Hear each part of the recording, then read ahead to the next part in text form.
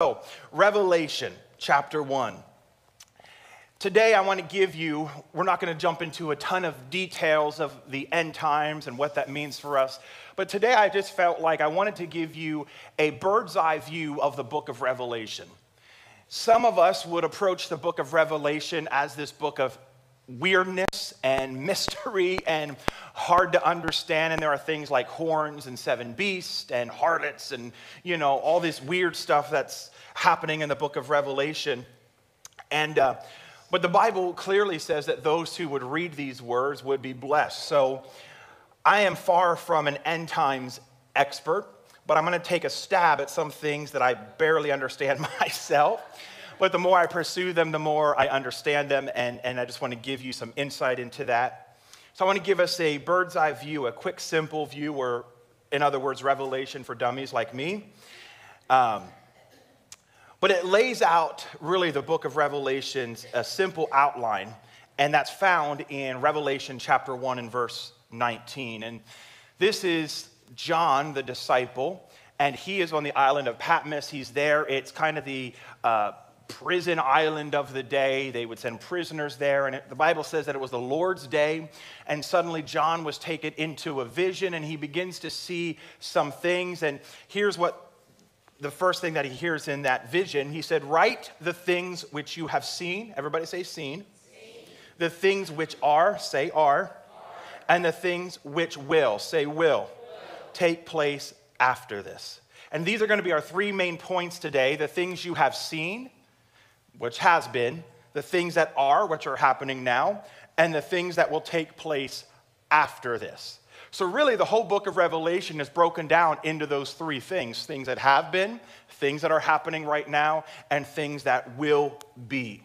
The book of Revelation is a book of prophecy. Well, what is prophecy? In layman's term, prophecy is pre written history. Pre written history. It's God standing in our now what's on the horizon. But this is the book of Revelation, not the book of Revelations. It's important to know that.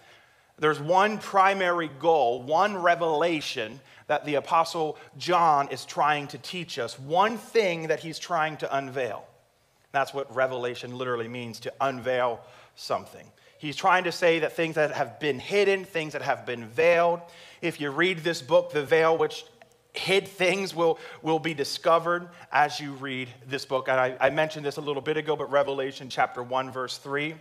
Blessed is he who reads and those who hear the words of this prophecy and keep those things which are written in it, for the time is near. Everybody say, the time is near.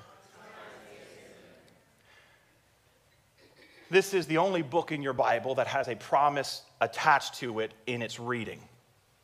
So, even if what I preach today isn't great and I struggle to get out what I'm trying to say to you, which happens sometimes, and you know, according to the Bible, you're going to be blessed either way because in just hearing the words of this book, you're going to be blessed. So just settle in because you're going to be blessed, right? Uh, that I should preach from the book of Revelation more often because you'll be blessed either way.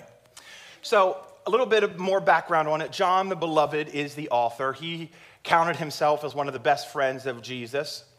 He actually was one of the only apostles to be standing at the crucifixion of Jesus. Um, and as he was there, he's standing there with the mother of Jesus, and he hears one of the last sentences that Jesus will ever say hanging from the cross, and that was, Take care of my mother. He spoke this to John, and John takes on that mantle and oversees uh, Mary's care for the rest of Mary's life. Uh, so that's who the author of this book is. This book is special to our theology as Christians. And the best way I can describe that is Genesis would be considered the seedbed for all theology. What I mean by that? It's our understanding of God. We find that in Genesis. It's how we see God, it's how we think about God. Can I tell you that the most important thing about you is how you think about God? Because if you think about God wrong, you're thinking about yourself wrong, you're thinking about the world wrong, you're thinking about people wrong, you're thinking about your situations wrong, right? But if you think right about God, you see yourself right, you see people right. So, the most important thing about a person is how they see God because it, it infiltrates in every other view that we have in life. That's why it's important that in all of our seeing and all of our doing, we see God right. So, Genesis is considered in theology the seedbed of our theology as Christians. Revelation is considered the harvest of all theology. Where Genesis describes the beginning, Revelation would explain our ending. Genesis teaches us about the very first bride who was Eve. Revelation teaches us about the church who is the bride of Christ. In Genesis, Satan would appear in the garden for the first time, and in Revelation, he will appear for the very last time in human history. Come on, that's something to shout about. In Genesis, man is removed from the garden, they are removed from God's presence.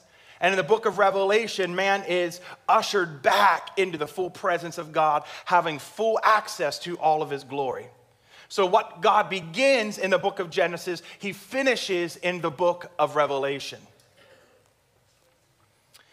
So, Jesus tells John, I want you to write about the things which are seen. And John begins to write. And I want to read this in Revelation chapter 1, verse 12.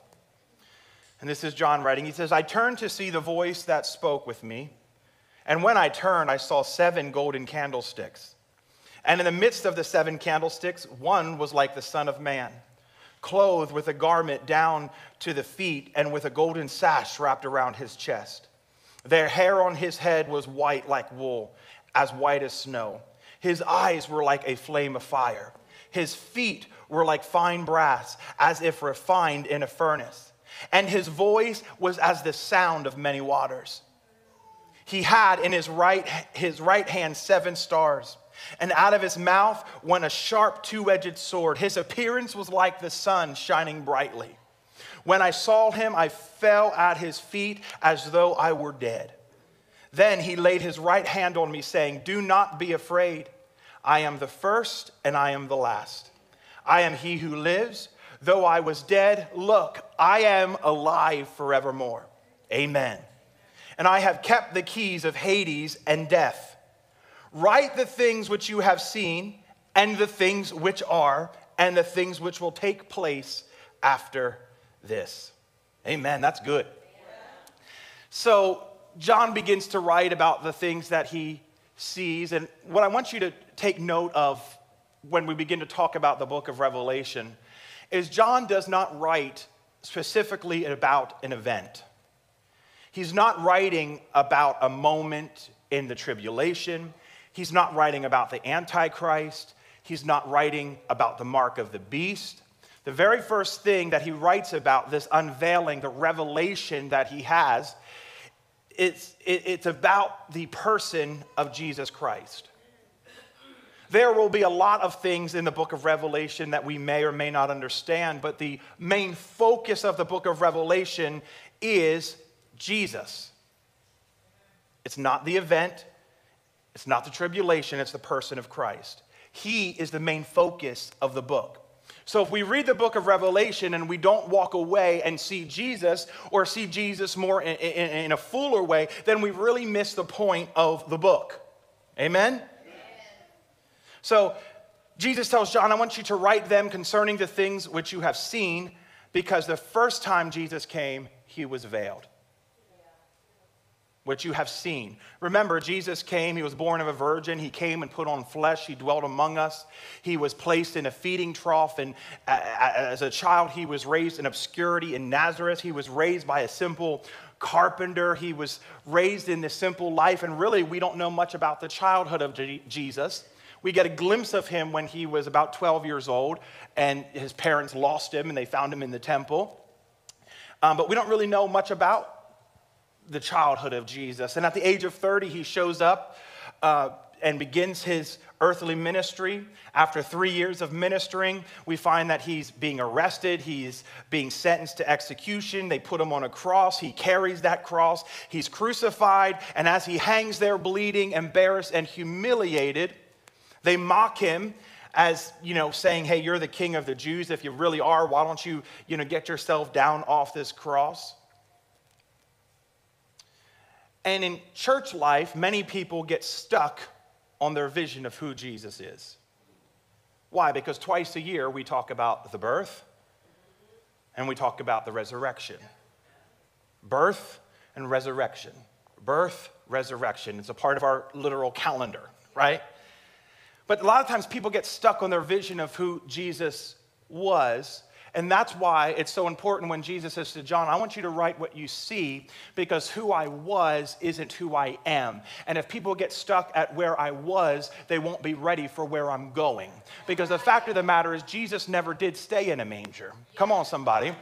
And the fact of the matter is, Jesus never stayed on the cross. And last week we celebrated that he got up out of the tomb, but the tomb isn't the end of the story. The Bible says that he stood in front of his disciples and was ascended up into heaven. And he said, I'm going here to prepare a place for you. Get ready because I'm coming back to take you. If it weren't so, I wouldn't have told you. So Jesus saying, Yeah, I came and I was veiled. I was in a manger. Yes, great. I came, I died on the cross, made way, made preparation. I got up from the grave so that death, hell, and the grave would never touch anyone who would call upon my name ever again. But don't stay there because that's where I was, that's not where I am, and that's not where I'm going. So he says, John, I need you to write about where I was. I need you to write about what you see so that people can clearly understand where we're going. Come on pre-written history. So it's important that in our theology and in our thinking and in our life, we, we, we don't just put Jesus in the box.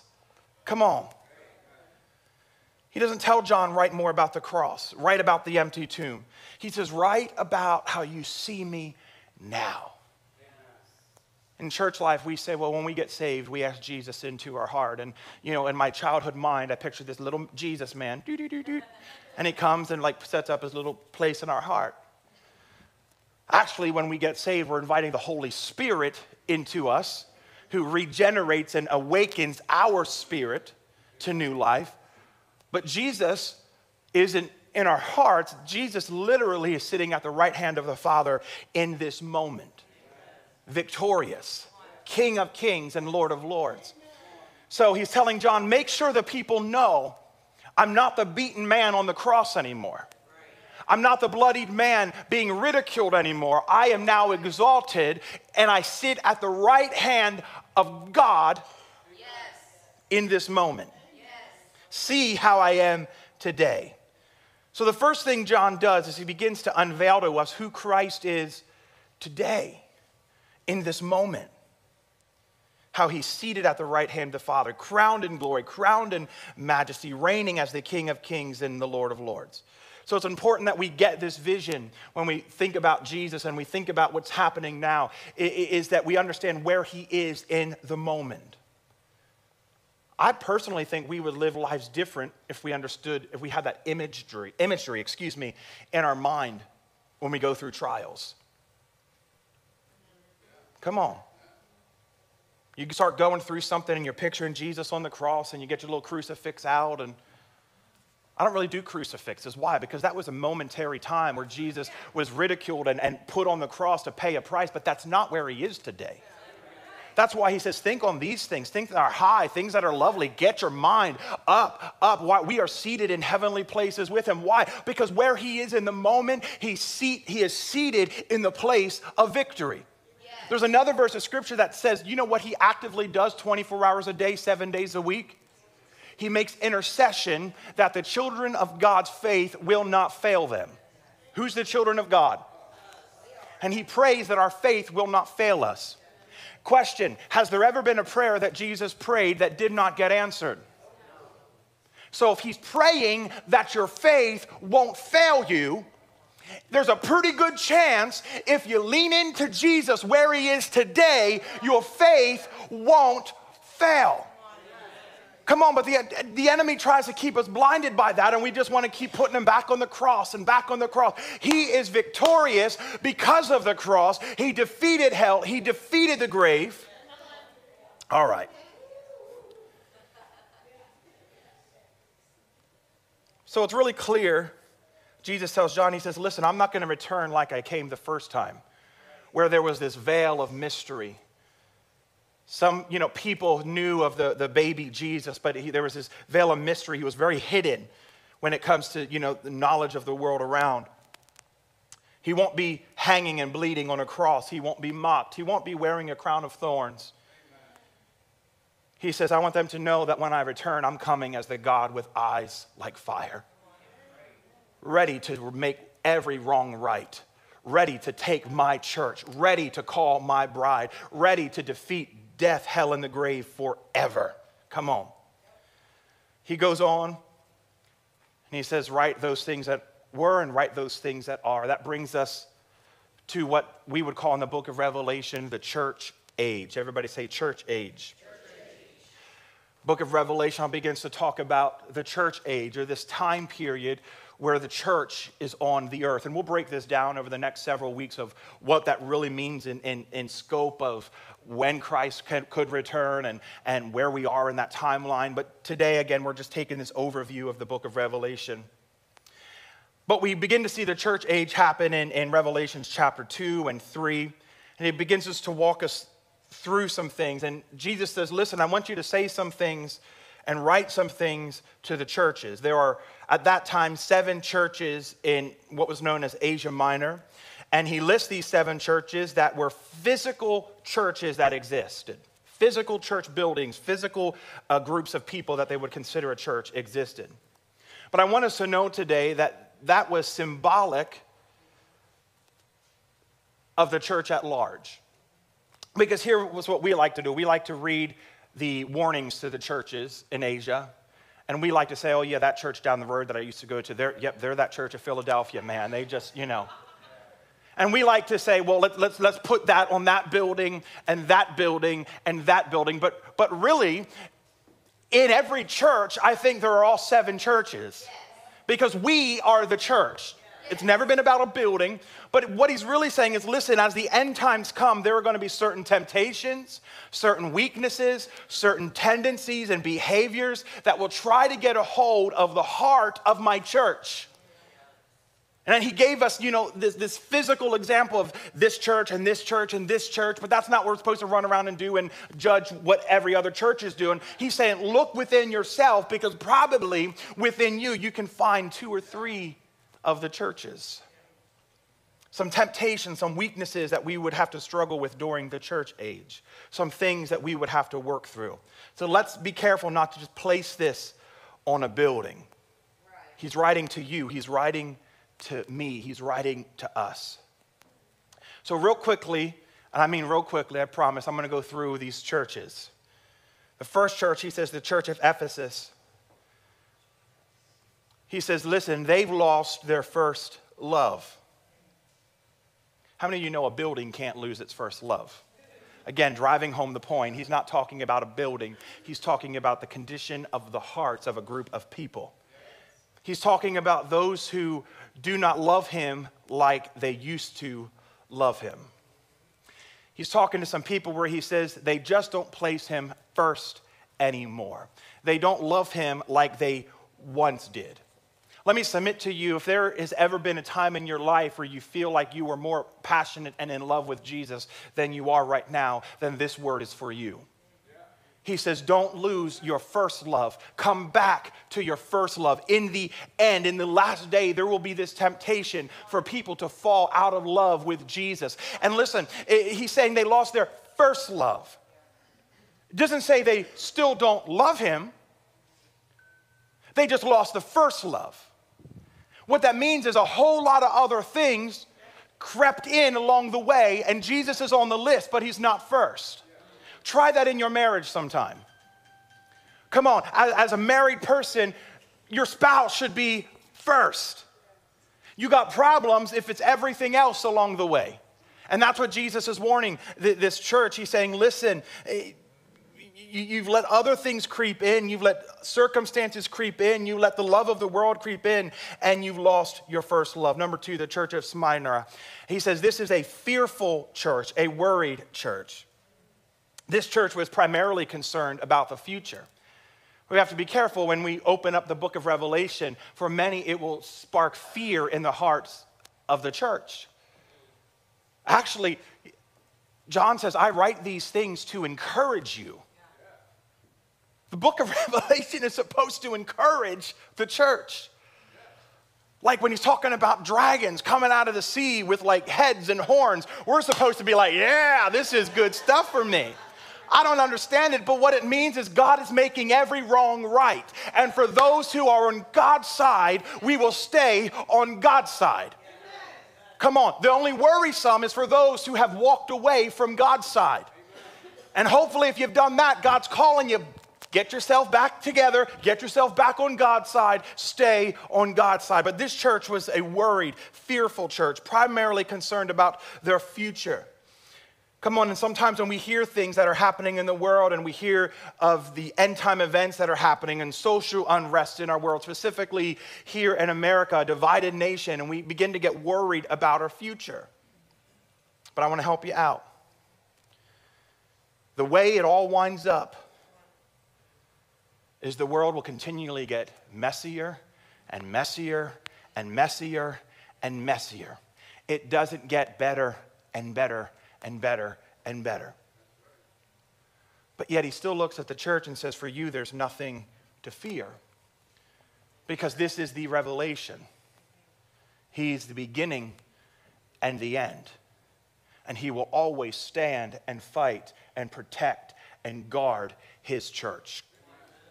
This isn't scary to God.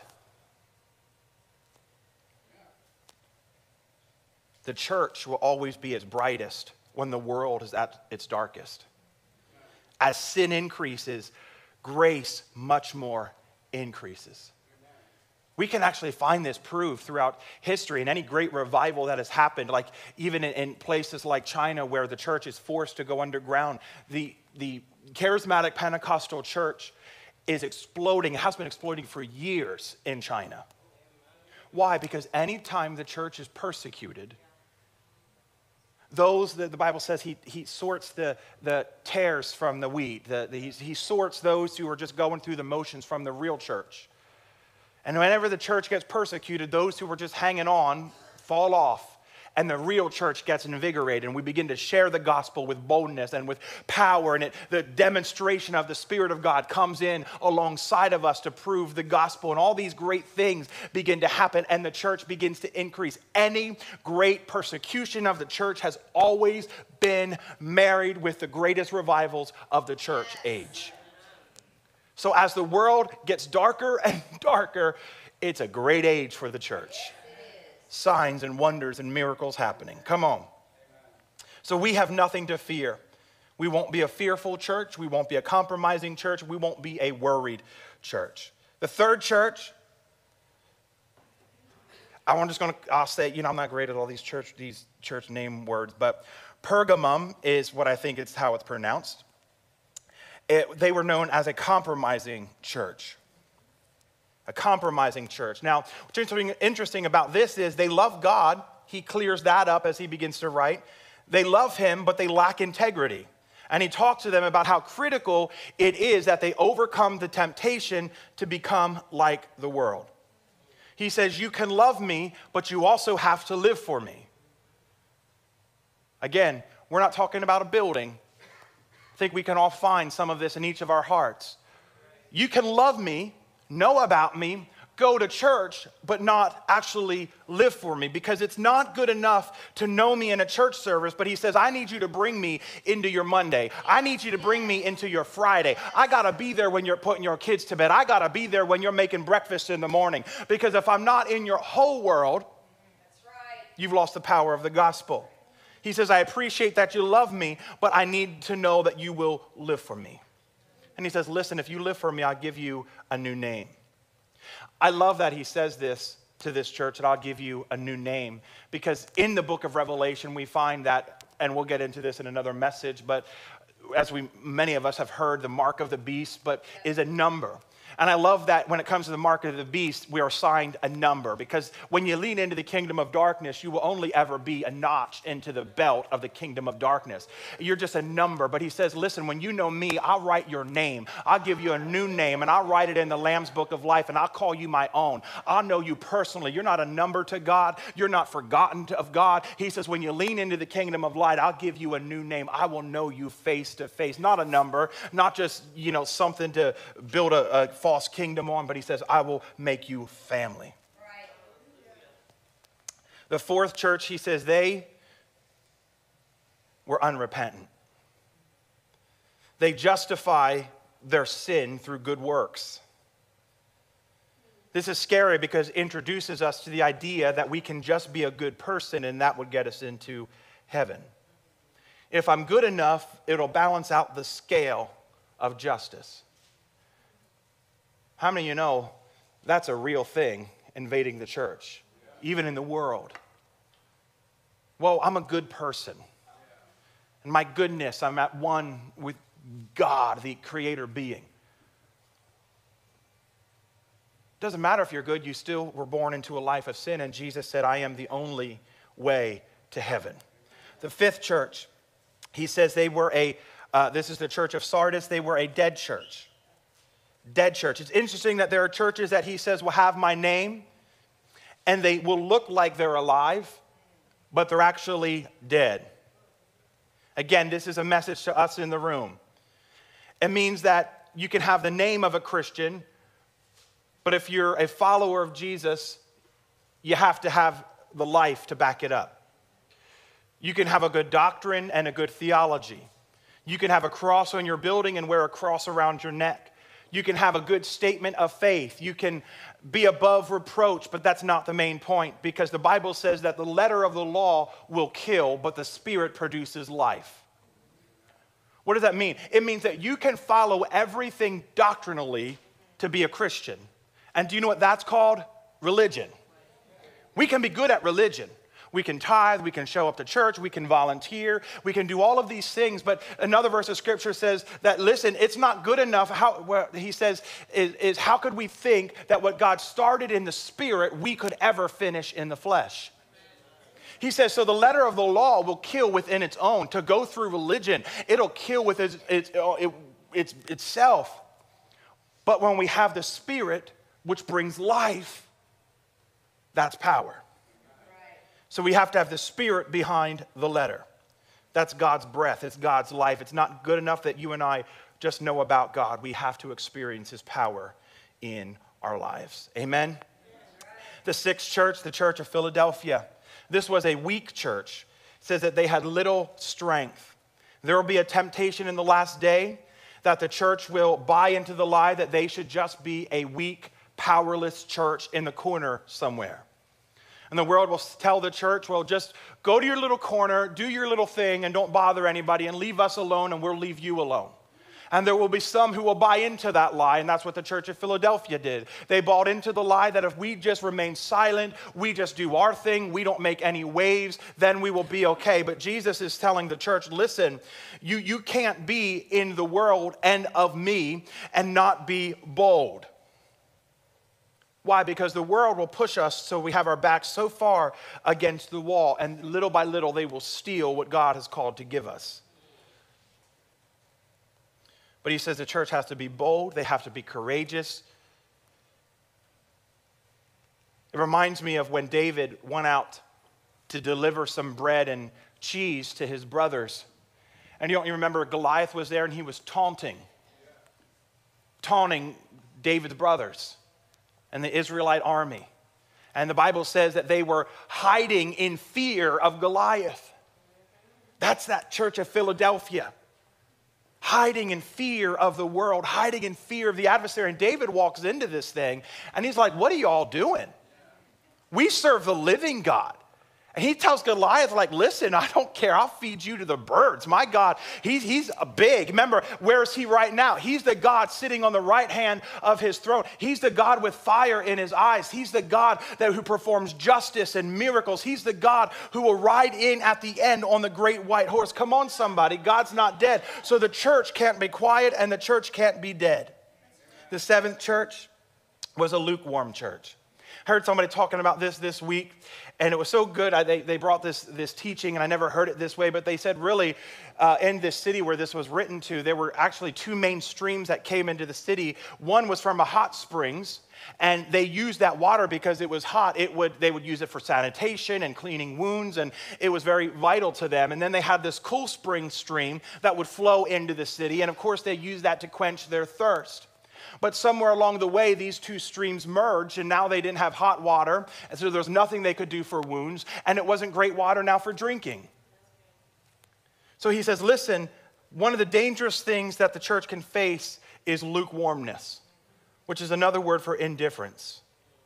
You have ups and downs in life for sure, but indifference to spiritual things is dangerous. We have to stay hot for God, so to speak. In the last days, there'll be a temptation to not understand how important it is to be the kind of church that He's called us to be. Ephesians chapter 1, verse 20, and this is actually in the message translation, says, At the center of all this, Christ rules the church. The church, you see, is not peripheral to the world, the world is peripheral to the church. The church is Christ's body in which he speaks and acts, by which he fills everything with his presence. How is God going to do what he does in the earth? Remember, he's seated at the right hand of the Father. He's going to perform it through the church. This is the church age. If there's something God's going to do in the earth, he's going to do it through you, he's going to do it through me. Nothing happens in the earth during the church age that God doesn't partner with his body in the church. That's why some people say, well, I love God, but I hate church. I hate the church politics. I hate church. I, am not about organized religion. I'm not about, you know, the whole thing. Very interesting that somebody could say that because they're missing the main point. Like, for instance, after church, husbands, in the car, I want you to look your wife square in the eye. And I want you to say, Babe, I love your face. Oh, I love your face, but I don't like your body. and watch how well that goes for you. I won't even look down at my wife even saying that. It's the same as somebody saying, I love God, but I hate the church because he said, The church is my body. So, the, to the believers who would sit at home and say, Well, I'm watching online, I'm a part of the church. No, no, no, no. You, if you love God, you have to love his body. And they say, well, the church is full of hypocrites. Yep, because why? Because a hospital isn't full of well people. A hospital is made for sick people. But even Jesus, in his physical bodily form, there are wounds in his hand and on his side. And it reminds us that even the body of Jesus has wounds on it. There's a flesh side of it. But if I love God, I'm going to love his church. All right. I'm preaching that to the choir. You're here this morning. Come on. The church will have its problems. The church will hurt. Why? Because the church is filled with people but it's the body and the bride of Jesus Christ. Try having a friendship with somebody, but you absolutely hate their spouse. It's not going to last very long. But the Bible says that this, the church at large, is the bride of Christ. So we've got problems. But I'm not going to mock the bride of Christ. I'm not going to condemn the bride of Christ. I'm going to jump into the bride of Christ and I'm going to help it become the glorious bride that he said he's returning for in the last days. I'm not going to take my eyes off of the real prize here. I'm not, uh, you understand what I'm saying? I, I got to keep my eyes focused that he, he's coming for the bride. The church is his bride. If I'm not connected to the bride, he's not coming for a cut off finger laying in a field somewhere because they're too good to be a part of a local congregation. All right. So then he says, write about the things that shall be. In chapters 4 through chapters 22, we're going to read them all together. Are You ready? No, just teasing. I, I, got, I got one le- yep out there. And of course, it's from Denny, the, the word man. He's like, yeah, let's do it, man. Let's read it. No, but he leans in in these chapters and he begins to talk about eternity. And it's a reminder to live with a mindset of eternity. That we're not here forever. Either we will leave this world one of two ways Our physical body will give out, but our spirit will live on forever. Or he will rapture us and our spirit and body will go out of this world together. One of those two ways, you will leave this world. That's why when you got problems and you've got a, circumstances and offenses, man, sometimes you just have to put it in light of eternity. Yep. All right, the business didn't work. Okay. When I am ruling and reigning with Christ in the new heaven and the new earth, which we'll get to later, it's not going to be like, yeah, I wish that internet marketing business really just took off. I just. And you're not going to be standing there saying, you know, I just can't believe that they were mean to me and that they didn't like me. And you're not going to be running up to the throne of God saying, now, are you going to do anything about them? Because, you know, back when I was on the earth, they were really rude to me and now they're here. Like, none of that stuff is going to matter. Actually, the Bible says that in, in the very end, when He creates a new heaven and the earth, the earth will be destroyed by fire. Two things. Let me just help those who would be leaning in heavily, heavily to global warming. It probably is true, and I celebrate it. Somebody's going to post this and it's going to be taken the wrong way. But because it means the end is growing nearer. Because eventually, he says, fire is going to consume this whole people planet. Now, I do think we should be good stewards of the earth while we're here, don't get me wrong. So, if we can do something to help the earth, let's do it because we got to be good stewards of it. But don't be surprised when the world gets hotter because the Bible says in the end it's all going to burn anyway. But my mama always used to tell me that she would say, listen, you know, the car broke down, all these things. You know, you you spend your whole life and sacrifice your family to try to buy a bigger house and a bigger car. But the reality is, at the end of the day, they are all going to burn. I've told you before, I love junkyards with a passion, auto junkyards. And one of my favorite things, I'll walk around and I'll look at that old 1972 Gremlin sitting there in orange, and I'll think to myself, one day, somebody saw that on the car lot and thought, my God, I'll work overtime, I'll do what I gotta do, I'll sacrifice my kids' education, but that gremlin is getting in my driveway and it's going to have an expected end. Someday it's going to be put into a crusher and made into this little cube. But family time was sacrificed for that gremlin. Well, probably not the gremlin, but you know, I guess the gremlins were for those who value family time, you know, right? But you understand what I'm saying? Like if, if I could just get the bigger house and all of my kids could be spread out with our own room. Come on, push them all together and teach them about God. You know, if, if we just had the right car and the newest model, then I'd be happy. Listen, what are we sacrificing to climb the American dream and to build the American ladder? One day it's all going to be destroyed, and what will remain is our faith in God and the faith that we've taught our family and how we stood on this earth and proclaimed the gospel. He says, You will receive a crown in heaven for every soul soul that you've brought into the kingdom, not for every house that you bought and every dollar that you saved. I'm all about saving, but sometimes as the end comes closer, we just got to say, we got to further the gospel. We got to get the gospel to the four corners of the world because Jesus is coming and he doesn't care about your 401k. I'm not saying that that's a bad thing, come on. But I'm saying that's not what we live for. There's no eternal value there. Doesn't transfer, right?